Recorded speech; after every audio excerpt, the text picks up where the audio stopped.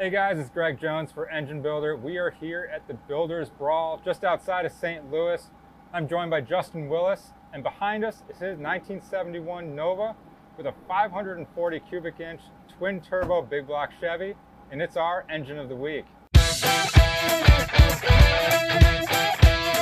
Engine Builders Engine of the Week is sponsored by PennGrade, Precision Performance PennGrade, always the original green oil. Elring Das Original, leading technology, leading service. And NPW and Engine and Performance Warehouse for all your parts needs.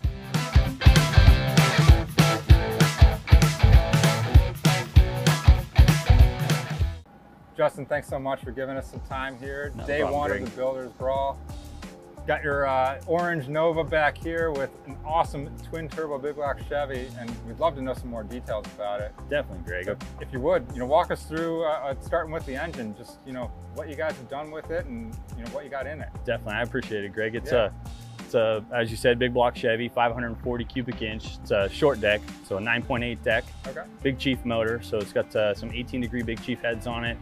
Um, it's come a long way with those cylinder heads, but this setup's fresh. So it's got a, a billet, Brodex billet crank, um, aluminum rods, four 500 bore pistons in it, Okay. 12 to 1 compression. So it's healthy compression. It's on alcohol, so that obviously helps with that. Very good. Um, the Big Chief heads, custom Steve Morris cam, Okay. fuel injection with 16 injector setup on it, and a mechanical belt drive pump, and twin Pro Mod 88s makes it all work okay. Yeah, yeah, very good. And, Yeah. and where are the turbos from?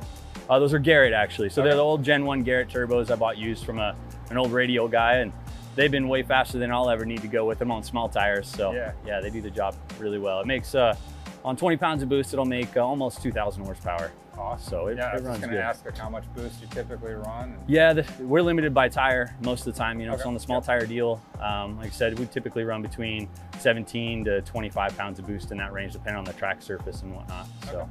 Very good. it's a lot of fun, man. Yeah, yeah. Yeah. No.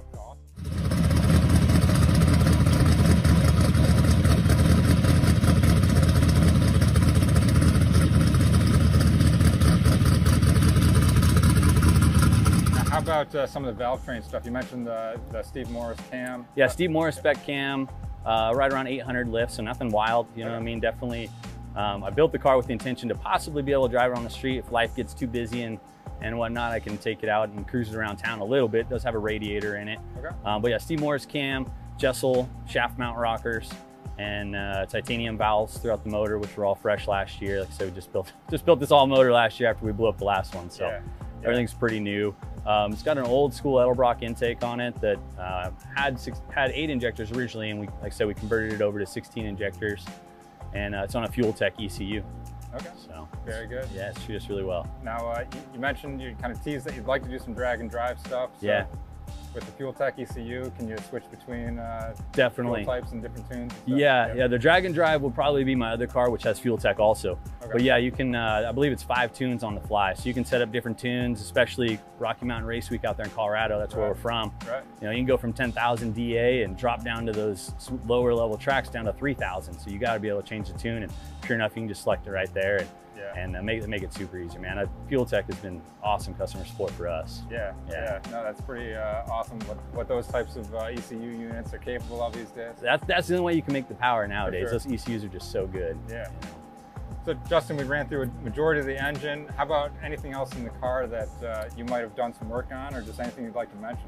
Um, yes, it's got a Powerglide trans in it. That's got a PTC bolt together converter and a nine inch, of course. It's got 360 gears. Uh, we changed those when we went to the small tire. And uh, we actually just finished, we left uh, Colorado at four in the afternoon yesterday and got here at seven in this morning, drove all night because we were finishing all the front suspension is Yeah. completely custom that we built uh, long travel setup. It's got like 13 inches of front wheel travel right now. Okay. So more than most people's Raptors. Yeah, yeah, yeah. That's pretty good. Yeah, so that's kind of the, the winning prize right now. Hopefully we can do some more, a lot more no prep, which is all we do anyway, but like, you know, back of the track stuff and, and whatnot seems to be becoming pretty popular. So Yeah. hoping we're really competitive in those things.